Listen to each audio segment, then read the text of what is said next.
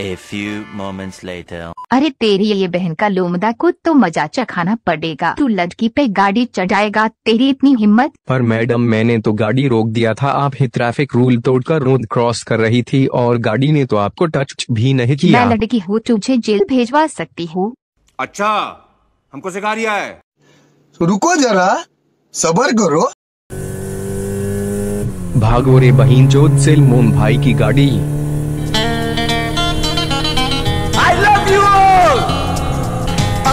जाने जाना ढूंढे तुझे दीवाना सपनों में रोज आ